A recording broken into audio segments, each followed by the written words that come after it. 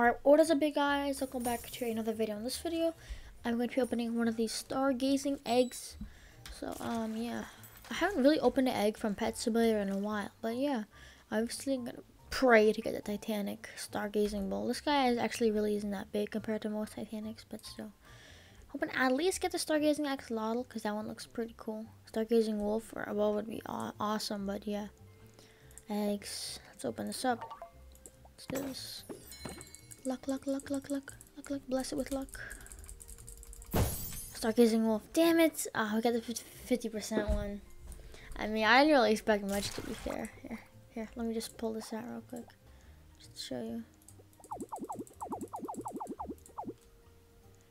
Uh, right here. There's, got a stargazing wolf. Has like a little, uh, little, uh, what is it? Stars inside of it. So yeah, that looks pretty cool to be honest with you.